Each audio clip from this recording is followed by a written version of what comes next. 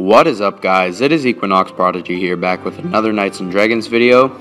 Um, in this one, it's going to be uh, the FE number 9 video, so Fusing Epics uh, number 9 in the series. And today we're going to be doing the Revelation Robes and the Cryptid War Gear. Um, I've been thinking this one over and um, I want to save the Scarab Carapace for the second die book for another chance at Demortus or Undead. And then I'm just going to do this one in a hope for something good, maybe possibly Undead, maybe a Champion's Battle Gear. Um, hopefully something good. Uh, I've been noticing it's still a little laggy. Um, it's it's the best I can do right now, guys. Um, if it freezes, I'm sorry about that. Um, but yeah, again, FE number 9, Revelation Robes times Cryptid War Gear.